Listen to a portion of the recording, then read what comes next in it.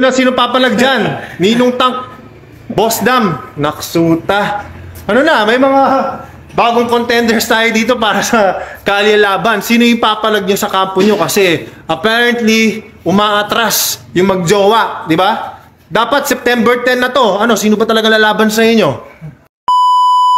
Hi guys! Magandang araw mga kabakal! Sa video na to, pag-uusapan natin at gagawa natin ng reaksyon ang video na nilabas ni Ken Jan, Mr. Mainit, kung saan mga kabakal, eh, tuloy-tuloy sa training at talagang pinaghahandaan ni Mr. Mainit yung kanyang makakalaban na si Boss Dam at si Ninong Tang. Kaso mga kabakal, eh umurong daw.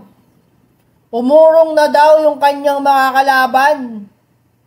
Well, mga kabakal, tignan natin kung anong ibig sabihin ni Mr. Mainit. Po ang clip ng video. Okay mga kaliyaban, dito tayo. Tuloy yung ensayo. Dinayo tayo ng mga tropa. Charles! Ayun no? What's up, guys? Oh, palag-palag. Asintado ng Pinas. Yeah! Sino na sino papalag dyan? Ninong Tank, Boss Dam, Naksuta. Ano na, may mga bagong contenders tayo dito para sa kalye laban. Sino yung papalag nyo sa kampo nyo? Kasi apparently, umaatras yung magjowa, di ba? Dapat September 10 na to. Ano, sino ba talaga lalaban sa inyo? Oh, nagliliyab na yung mga kaliyaban natin. Abangan nyo yan, guys. Hindi ko alam. Mukhang umaatras yung buntot ng dalawang yan. Magjowa na yan. Sabi ko, sila ng dalawa, tigto 2 rounds. Ako 4 rounds. Handa ako, pinag-aandang ko yan. Kayo, inuman, puro tambay. Come on, bro. You gotta get your dreams for real. Wala kayong pupunta sa puro ganyan, puro sat-sat lang, di ba? Kalye laban lang malakas, mga kalyaban. Let's go! One up! You know?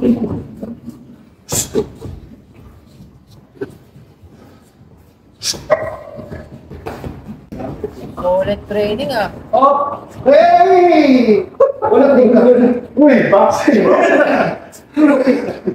Go, go, go. Boxing,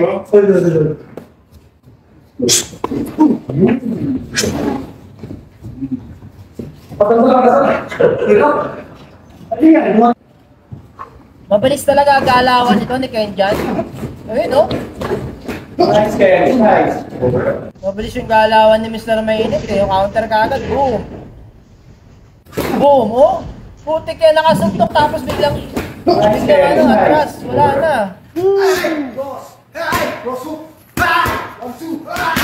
Ah!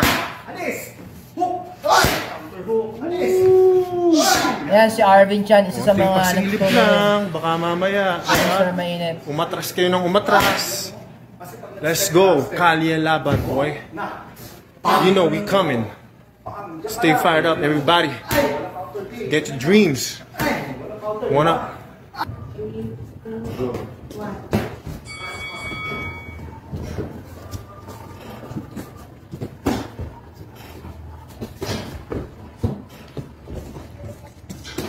oo, siya na to.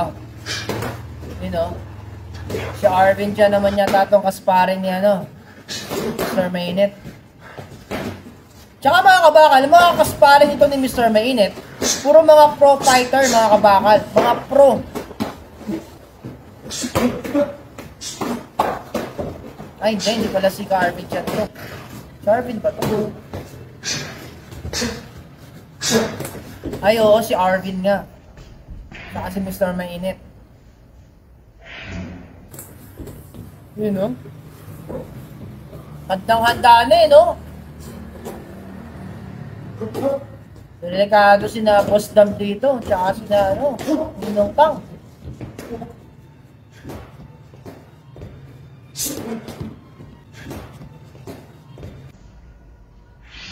no? Grabe, oh. Mga kabakal pro, ah.